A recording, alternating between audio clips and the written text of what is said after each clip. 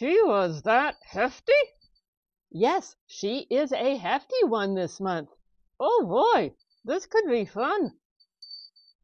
Hello and welcome. We are discussing the fact that the February box from Allure was a hefty one. Yes, it sounds like she was. She weighed in at one pound, 15 ounces. Normally, I don't weigh the box because it feels just like a usual box of product. This one is a hefty one. Let's see what we got. Yes, let's. First up is a highlighter palette from Milk and Honey. This is something where we had the opportunity to make a choice between a highlighter palette or an eyeshadow palette. And being that my closets and cupboards are bursting with both highlighter palettes and eyeshadow palettes. I went with the highlighter palette. This one is going to go into a gift or giveaway box. And let's see if I can get it open. Oh, good heavens to Betsy. Oh, you need a camel to pry the box open. Camel, you're showing the wrong end. Excuse me. This is what it looks like. Nice shades. Yes, these are definitely nice shades.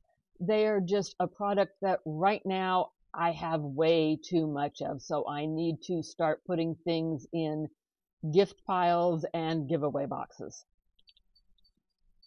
This next product I am excited to try. It is a sample size of a YSL mascara. And I've made some room in my mascara collection, so this one can get into the queue line quickly. I know, I'm sounding a little bit bougie over here, but I've never had the opportunity to try something on the snazzy side. Oh, that does look nice. This is the D'Alba Piedmont Aromatic Spray Serum. It is a hydrator for your face. I've given it a try. Very nice. It is something, as you can see, it is separated within the bottle. It is a product where you have to give it a good shake. Oh, you're making me seasick. Hang on, Camel and it mixes up into a nice yellow color. The scent is very nice, and I'm appreciative of that because I don't like heavily perfumed scents. That is a full size item, refreshing faced mist with natural hydrators, rose water, avocado oil, and sunflower seed oil. So I'm going to be getting some good use out of that. Oh, I might even try it. So we are halfway through the box. Do you see something that you like? Comment down below. Yes, we are nosy. We want to know. And now, moving back into our video.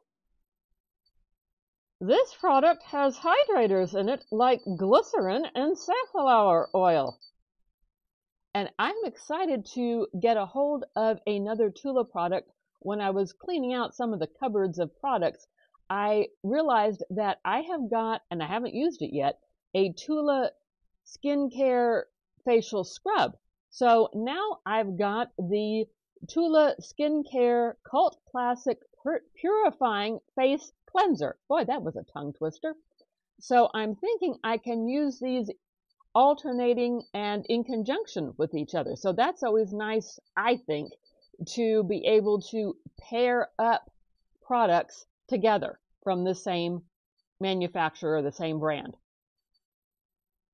I readily admit when it comes to eating, I do not like beets. However, I am intrigued to try this face mask. It is beet and retinol. So this ought to be an interesting one.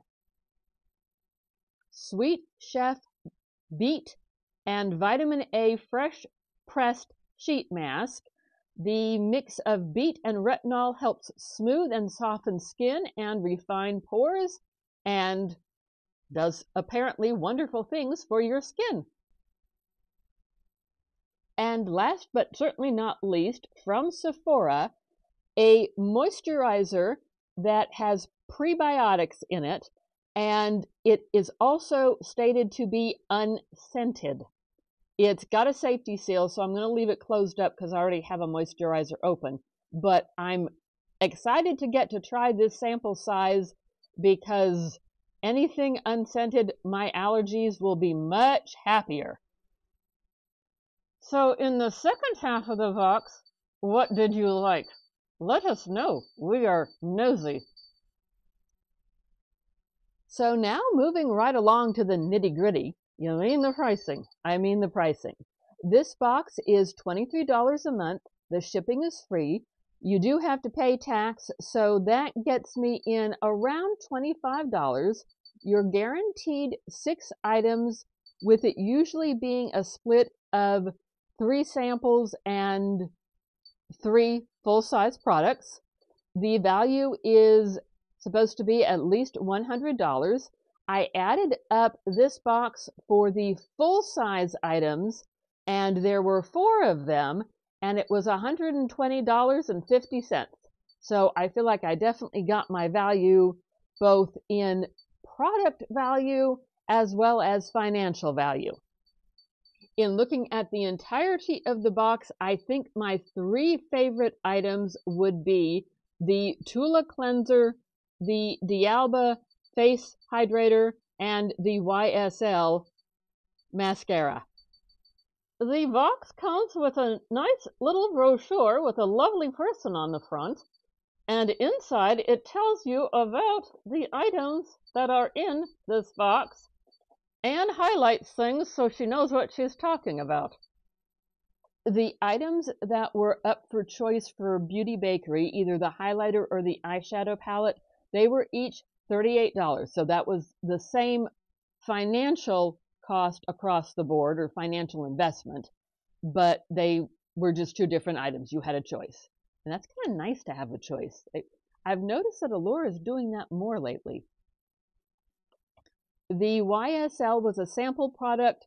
Full size would be $29 for 0.3 ounces of mascara. The D'Alba Piedmont Face Spray Serum was full size at 120 milliliters and has a retail of $45. The Tula Face Cleanser is $34 for 6.7 ounces. And sheet mask with the beet and the retinol was full size, one item, and it's $3.50. And the Sephora moisturizing prebiotic lotion or face cream was a sample size. Full size would be 1.69 ounces for $18. And honestly, that's a pretty reasonable price. So, what did you think of this box? We were very pleased with it. Yes, it was a good one.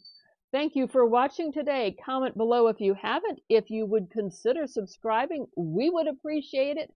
And it would also let you join in on further adventures that the camel and I get into. Oh, we have some fun adventures. Thanks again for watching, and we hope to see you again in another video. Bye-bye. Bye-bye.